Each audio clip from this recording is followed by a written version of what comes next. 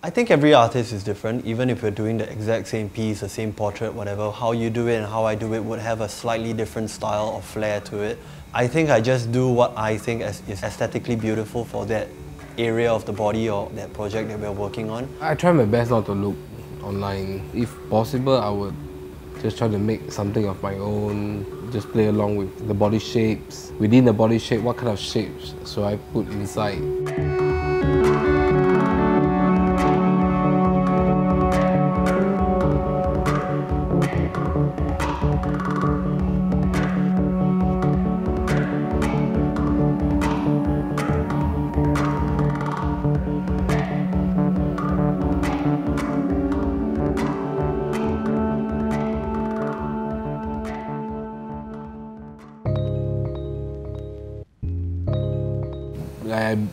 Began to have tattoos myself from 13, like small, small tattoos. I think by the time when I was 15, I think my legs, chest, the top arms, my back, pretty much all covered already. If I wasn't tattooed so much and if, and if I see someone like me, I, I would say, not disrespectfully, but I would definitely turn around and have a good look, man. This is how I want to decorate myself, so I don't see what's the fault in that. Uh.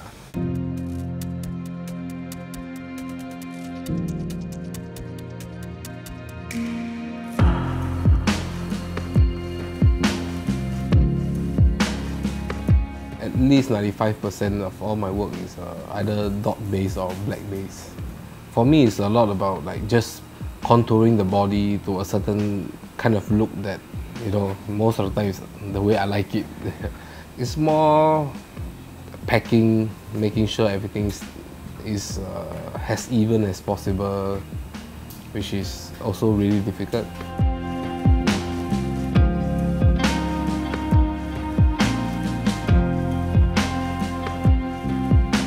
Different person has a little bit like uh, of a difference in their skin. Some a little bit tougher, some a little bit easier to, to work on. Some people really bleed a lot. Some people bleed a lot lesser. From that, I will have to adjust my pace of working. It's a lot about just making everything as smooth and black possible.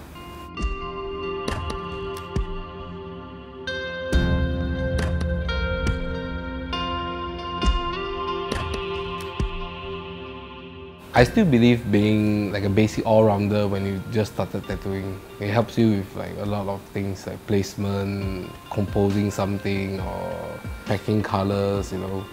It's just like fundamentals of everything.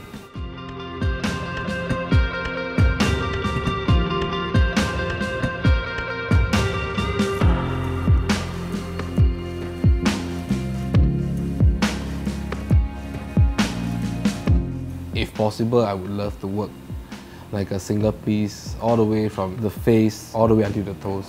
It's not really easy getting canvas like that.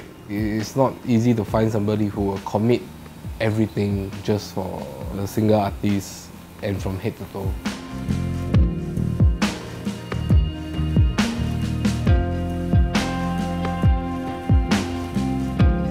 Back in the days when we were all just referencing through magazines I don't recall like the artists. I remember people having like just shapes on their bodies or like just plain like big bowl shapes. It draws me towards that path of having something that uh, if I were to look at it from like a distance, I will still see the whole thing and that will define how you look like from that distance.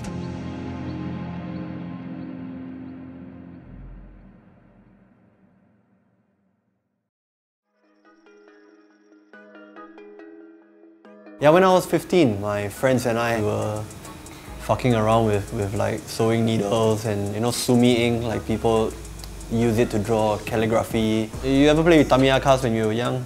You know, like the machines and then we bend a metal ruler, put it into a mechanical pencil, trying to make a little makeshift tattoo machine. We even tried that for a, for a bit, came out like shit and ripped up like a lot of scar tissue. Doing crappy tattoos, man.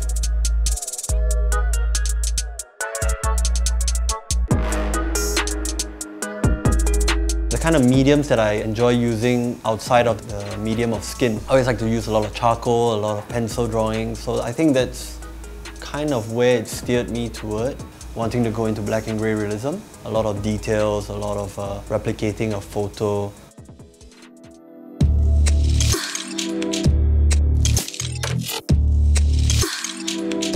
Because tattooing is a two-way project, right? It's between an artist and the client.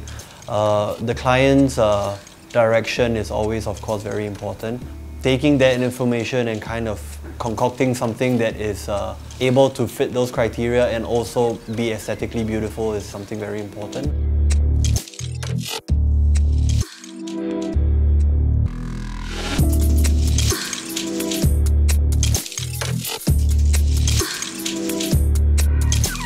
Think I take a lot of influence and reference and inspirations from, from various different people, artists and all also. Seeing what they do, maybe that's an interesting piece and then I'll try to incorporate that somehow into the next project that I'm doing.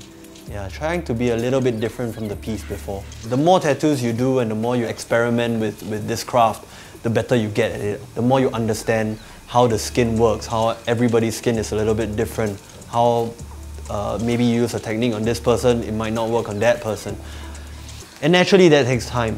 Uh, so the longer you invest or the more you invest your time in tattooing, in drawing, in learning and, and, and, and obsessing about this craft, the more you are going to get out of it. I love tattooing, I love drawing, I love creating. Um, the skin is just a medium that I use to, to express that. I'm very grateful that people come to me to allow me to do what I want to do and what I, I feel the most passionate about.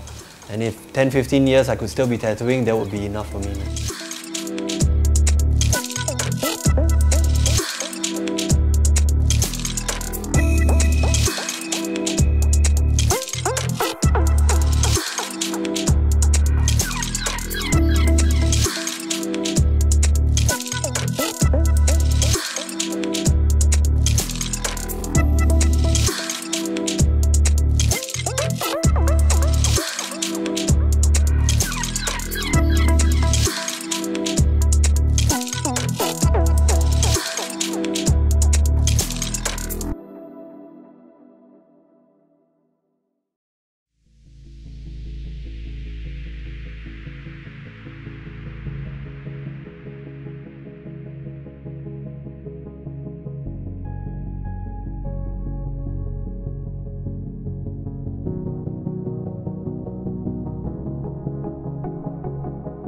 I was very close to my dad. My first manga is I got from him. But it was like those old school Hong Kong kind of comic. That got me and my brothers way into like mangas and anime and stuff like that.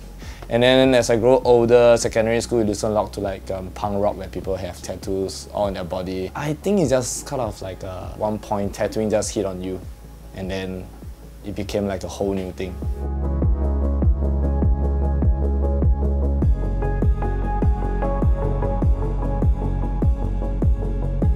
Before going into manga, I was very into dot work, like huge pieces, mandala and stuff like that. Then I had this client, she wanted to have like a full sleeve of just manga panel. It got me very into it because um, to create the exact manga panel, right, you have to copy exactly how the artist kind of do it. So that actually got me very interested into doing more. And then people start to notice and I start to get more work. I kind of like it when people come into the shop and you know they can tell me like whichever comic, whichever chapter, and then there's something that we can relate to. It's like geeks and nerds like like hanging out and, and, and talking together. So apart from tattooing, that is another section that I kind of like it a lot to enjoy with my clients and stuff. I use very very thin lines to create a very sharp and crisp image that you see when they draw on the manga itself because they probably draw it with just like fine line pen. One of the things is that I have to use very fine lines and the other thing is that using very fine lines you get to see mistake very easily. It's not like normal bow line where you can overlap and overlap. Another thing is that I want the line to stay on your body because I wouldn't want to do something on your body that is fine but throughout three years or four years that line became nothing.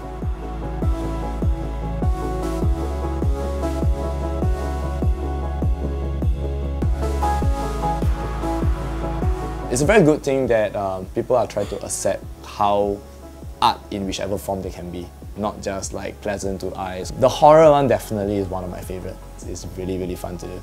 I just want to create more and more images that people are happy about. Because I kind of feel them. I grew up reading manga. When people come to me, there's definitely a story why they would want that particular panel. I believe for manga readers or like for anime readers, you definitely have this kind of feeling. When people walk out with that panel on their body and they are really happy with it, that is like one goal that I achieve every day, which is, which is good enough for me.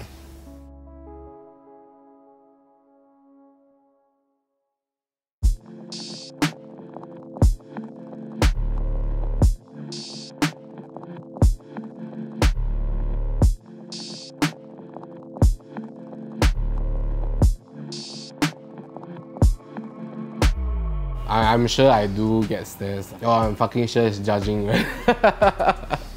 I'm fucking sure like you, you like 80% of, of it is like judging, 20% is judging a little bit lesser.